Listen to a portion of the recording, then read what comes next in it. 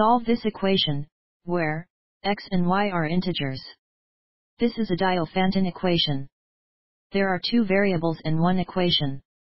We notice that 2 divides the left-hand side of the equation. So 2 must divides the right-hand side of the equation.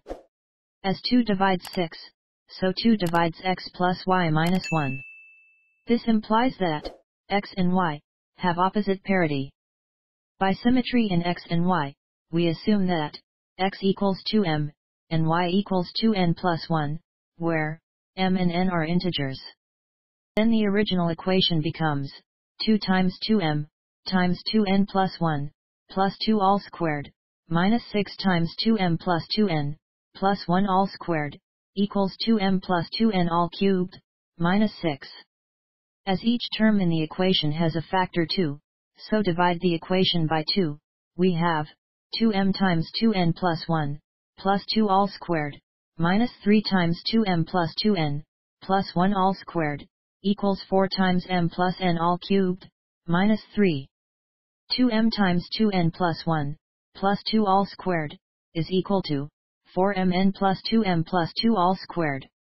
We know that a plus b plus c all squared is equal to a squared plus b squared plus c squared plus 2ab plus 2bc plus 2ca.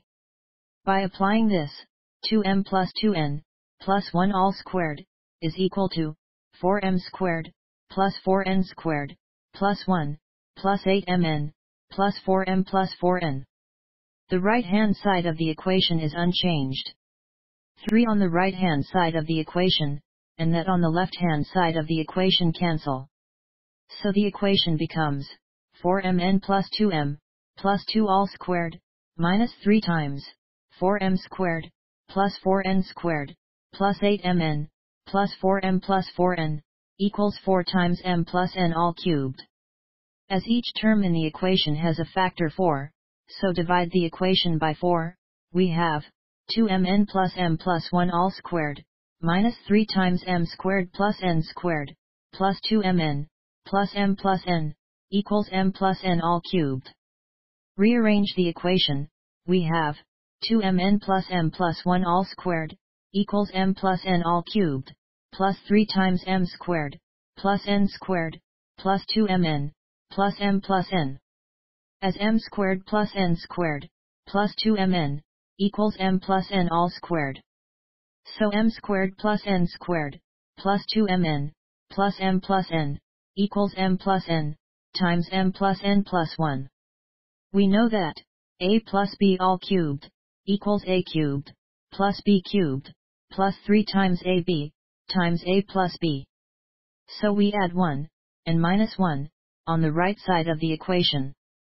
Then the first three terms on the right-hand side of the equation, is equal to, m plus n plus 1 all cubed. So the equation becomes, 2mn plus m plus 1 all squared, equals m plus n plus 1 all cubed, minus 1. Rearrange the equation, we have, m plus n plus 1 all cubed, minus 2mn plus m plus 1 all squared, equals 1. We let u equal m plus n plus 1, and v equal 2mn plus m plus 1. Then equation 1 becomes, u cubed, minus v squared, equals 1. This is a Mordell's equation. It is well known that, equation 2 has only the trivial solution, u equals 1, and v equals 0. Then we have, m plus n plus 1 equals 1 and 2mn plus m plus 1 equals 0. From equation 3, we know that, n equals negative m. Now substitute n equals negative m, in equation 4, we have, 2m squared, minus m, minus 1 equals 0.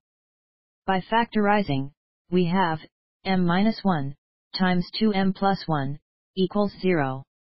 As m is an integer, so m equals 1. Then n equals negative 1. Because x equals 2m, and y equals 2n plus 1. So x equals 2, and y equals negative 1.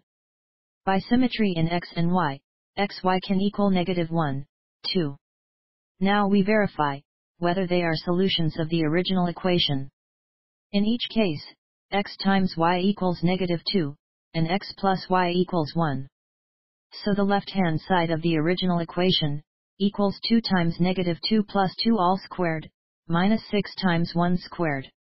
Which is equal to, 0 minus 6, which is negative 6. The right-hand side of the original equation, equals 1 minus 1 all cubed, minus 6. Which is equal to, 0 minus 6, which is negative 6. So they are solutions of the original equation.